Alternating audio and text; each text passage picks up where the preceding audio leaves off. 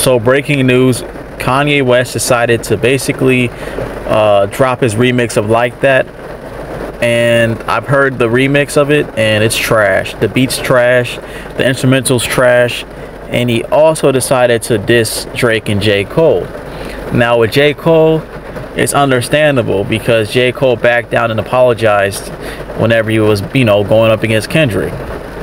And with Drake, I mean, Kanye, you don't want that smoke basically. Even J. Cole could smoke Kanye West. Like Kanye's not that lyrical, bro, at all. He's not even lyrical, bro. Like Kanye, I mean, like uh Cole and Drake would easily annihilate Kanye in a rap battle, period. And also, and also Kanye, Kanye West doesn't even write his own shit. Did you know that Drake wrote for Kanye West numerous times?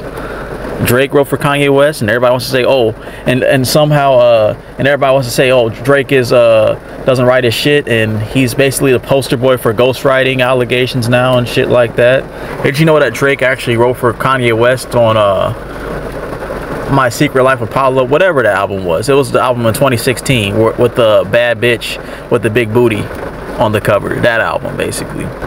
And what's crazy is uh, Kanye West actually out rapped Kendrick Lamar on the uh, No More Parties in LA.